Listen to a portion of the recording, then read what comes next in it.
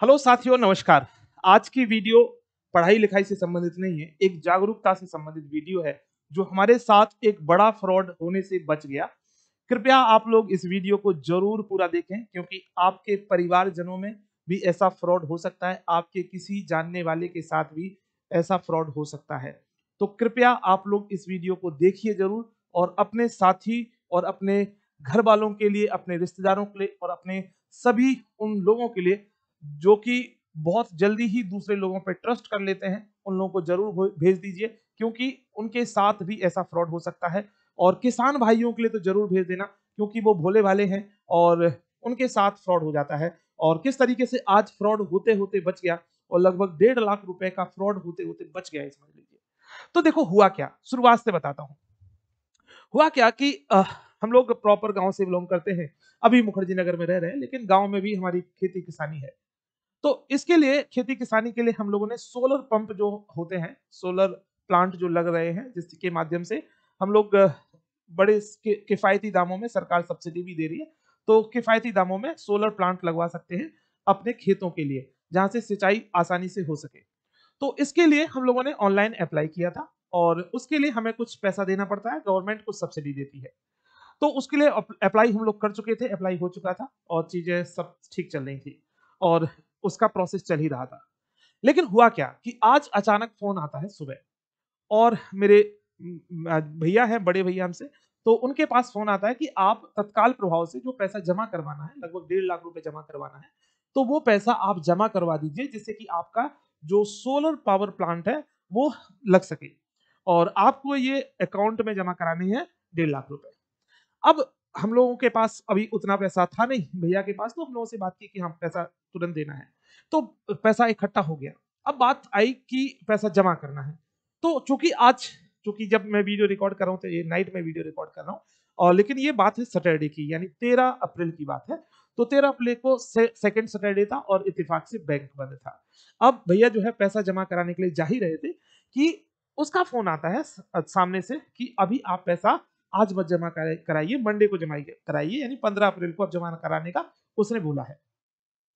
तो अब बात होती है कि क्यों वो पैसा कर, जो है जमा करवा रहा था? और ये डाटा उसके पास कैसे आया? कौन ये डाटा दिया है उसको कि हम लोगों ने सोलर पंप के लिए अप्लाई किया है? या सोलर पावर प्लांट के लिए हम लोगों ने अप्लाई किया है? ये डाटा उस फ्रॉड करने वाले व्यक्ति के पास जो स्कैमर है उसके पास कैसे पहुँचा? ये सवाल सबसे महत्वपूर्ण है। और ये सरकार पे एक बहुत बड़ा तमाचा है कि सरकार के डाटा लीक हो रहे हैं।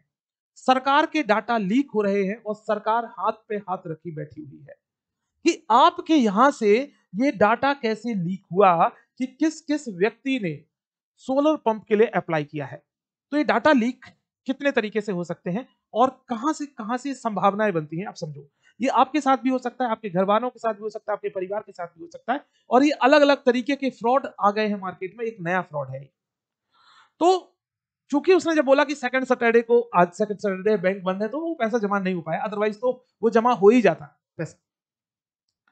तो अब चूँकि जब होता क्या है कि कब, कभी हमें कुछ लाभ मिलने वाला होता है क्योंकि गवर्नमेंट की सब्सिडी मिलनी है तो ये लगता है कि चलो ठीक है, जल्दी काम करवा लेते हैं, और वो काम हमारा हो जाएगा तो खेती किसानी अच्छे से हो पाएगी। तो इसी के लिए हम लोगों ने अप्लाई किया और जो भी गवर्नमेंट का पैसा देना वो तो देना ही था।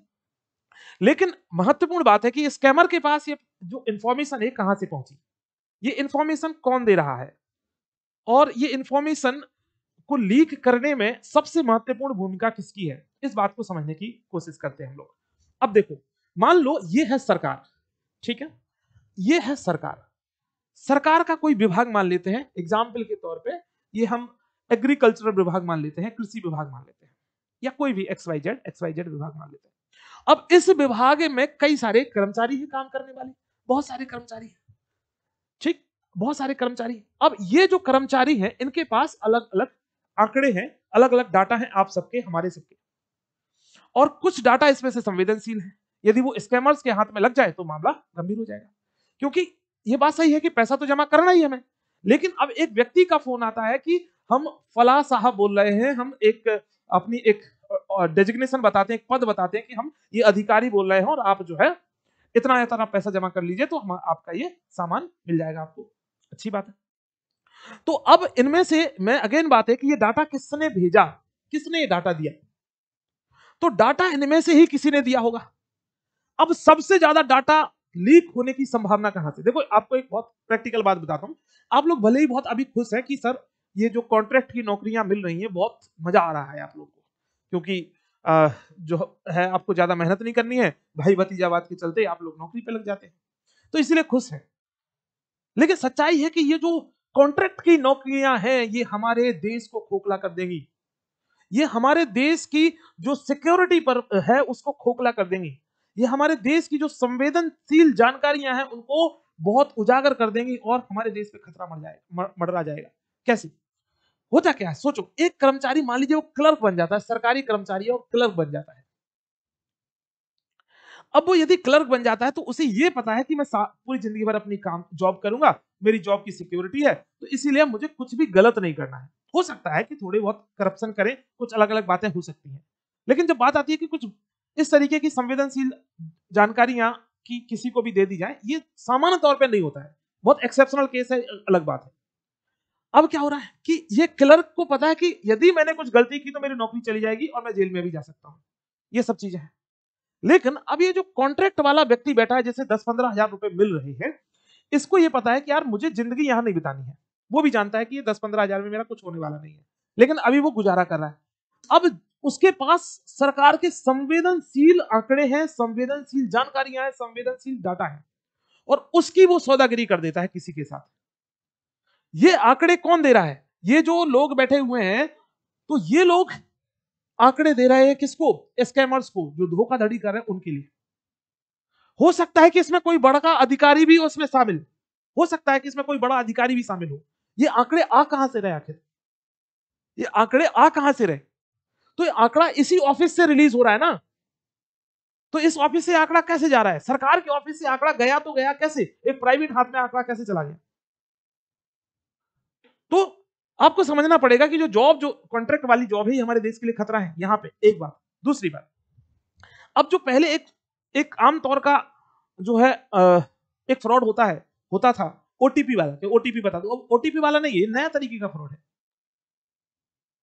आपके आसपास के लोग आपके साथ ही फ्रॉड कर सकते हैं, जिसको पता है कि आपने ये काम कर रहे हैं, है ना? आपने किसी काम को अप्लाई किया है, कुछ काम कर रहे हैं तो आप अपने चार लोगों से चर्चा करते हैं, बात करते हैं, यार, मैंने देखो इसके लिए अप्लाई किया है, मैं बस इतने पैसे की व्यवस्था हो गई, अब बस मुझे करना ही है। और ये बात पता होते होते होते आपकी समाज में कोई स्कैमर बैठा हुआ है, उसके पास ये बात पहुँची और उसने फेला कर दिया पूरा। सोचो, डेढ़ लाख रुपए आज ही चले जाते, छोटी मतलब बिल्कुल थोड़ी सी गलती से। और वो तो इत्तेफाक है कि बैंक खुला नहीं था आज। और बैंक खुला होता तो वो डेढ़ लाख रुपए गया था। तो अब हमें करना क्या है? तो पहली बात, जब भी आप कभी, यदि कोई सरकारी अधिकारी बनकर फ़ोन करता है, बात करता है तो कृपया पहले तो उसकी आइडेंटिटी पूछने की कोशिश करें और तुरंत ही आप पुलिस थाने में कॉल करें या फिर आप साइबर सिक्योरिटी पे कॉल करें। है ना? साइबर सिक्योरिटी पे कॉल करें कि हमारे साथ ऐसे ऐसे अधिकारी ने इस हेतु पैसा मांगा है। तो आप ज़रूर कॉल करें, बात करें और अपनी कंप्लेन को दर्ज करें। ये मत सोचो कि अभी सॉल्व नहीं हो रही। ये कंप्लेन दर्ज होना ज़रूरी है है ना? जैसे हमने दर्ज की है ऑलरेडी जिस नाम से वो फ़ोन आया, सब कुछ आया तो वो हमने दर्ज की है कंप्लेन तो कंप्लेन दर्ज करना है। दूसरी बात कि आपको किसी भी पर्सनल अकाउंट में कोई पैसा नहीं डालना है है ना? एक नए प्रकार का भी फ्रॉड आया, देखो, है ना? मल्टीपल टाइप के फ्रॉड चल रहे एक फ्रॉड नए प्रकार का। सुनो, कैसे फ्रॉड हो रहा है? कि एक एक्स व्यक्ति आपको फ़ोन करेगा, ठीक? आप मान लीजिए माता पिता हैं, ठीक? ये माता पिता हैं या दोस्त हैं, या आप भाई बहन हैं किसी के, और ये एक्स व्यक्ति है कोई, और एक्स व्यक्ति का फ़ोन छीन लिया जाए, है ना? एक्स व्यक्ति का बाई ने फ़ोन छीन लिया बाई क्या करेगा? बाई फ़ोन करेगा, उसके जो डाटा है, उसके जो डायल नंबर है है ना? उन सब पे कॉल कर लेगा, उनमें देखेगा माँ, पिताजी, है ना? ऐसे नंबर सर्च करेगा, सिस्टर, बहन, दीदी, जीजाजी, ऐसे जो संवेदनशील हमारे जो है संबंध है, कि जिससे एक समय पे कुछ बोल दो तुरंत आपके साथ जान देने के लिए खड़े हैं वो सब। अब उनसे फ़ोन करेगा उसको कि आपका साला जो है अस्पताल में भर्ती है। उसको मैंने कुछ पैसे तो दे दिए हैं अस्पताल में, डॉक्टर के लिए कुछ पैसे तो हमने दे दिए हैं, दस हज़ार तो हमने दे दिए, लेकिन डॉक्टर कह रहा है कि यदि अभी तुरंत दो घंटे के अंदर उसका ऑपरेशन नहीं हुआ तो आपको उसकी जान गंवानी पड़ेगी। इसलिए आप तुरंत तीस हज़ार रुपए डाल दो, वरना जो है वो बेचारा मर जाएगा। आप भावुक हो जाओगे कि यार, ऐसा हो सकता है। उसी के फ़ोन से फ़ोन आ रहा है है ना? क्योंकि उसका फ़ोन तो उसने छीन लिया है। और बोले, आप बोलोगे, नहीं, उससे बात कराओ। तो बोले, नहीं, वो तो आईसीयू में है, भर्ती है वो तो। इमरजेंसी वार्ड में है। वो बात नहीं कर सकता, एक्सीडेंट हुआ है बहुत खतरनाक। तो आप चक्कर में आ जाओगे, फंस जाओगे। ये भी एक नए प्रकार का फ्रॉड आ रहा है मार्केट में। तो मल्टीपल टाइप के फ्रॉड चल रहे हैं। आप कृपया किसी के अकाउंट में सीधा पैसा ना डालें। सिंपल सी बात समझिए आप। आपका कोई सगा संबंधी है तो एक अलग बात है, क्योंकि आप उसको जानते हैं, आप एक दूसरे के परिवार को जानते हैं, वो अलग बात है। लेकिन किसी अननोन से कॉल आता है मैसेज आता है ओटीपी बताओ, बिल्कुल भी मत बताओ ओटीपी आपकी कोई समस्या सॉल्व कर रहा होगा ऑनलाइन मैं ऐसे ऐसे करते जाओ तुम।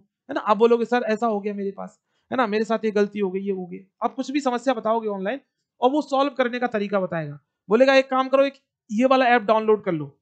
तो तुमने ऐप डाउनलोड कर लिया। उससे बोलोगे, कौन सा नंबर है तुम्हारा? इस पर एक ओटीपी आएगा।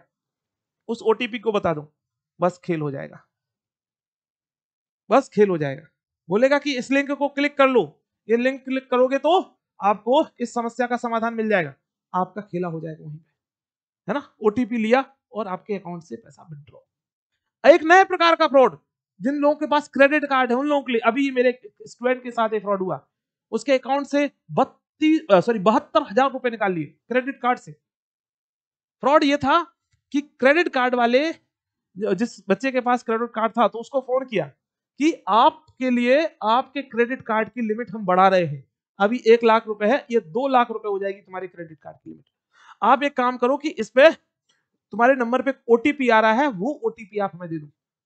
और उस ओटीपी से क्या किया? उस ओटीपी से पैसा ट्रांसफ़र हो गया। तो बहत्तर हज़ार रुपए उससे, उसके क्रेडिट कार्ड से वो निकल गए। मतलब वो डेबिट में आ गया वो घाटे में आ गया अब उसको भरने हम उसके नाम पे क्योंकि क्रेडिट कार्ड? तो आप समझिए, क्योंकि मल्टीपल तरीके से फ्रॉड हो रहे हैं। आप लोग कृपया सतर्क रहें, सावधान रहें। इस वीडियो को और लोगों तक भी पहुंचाएँ। तो जितना ज़्यादा सतर्क हो सकते हैं, उतना हम लोग कहें। और अपने, जितने लोग आप लोग समझदार अपने आप लोगों को समझते हैं तो कृपया आप लोग दूसरे लोगों को भी समझाने की कोशिश करें। धन्यवाद, नमस्कार।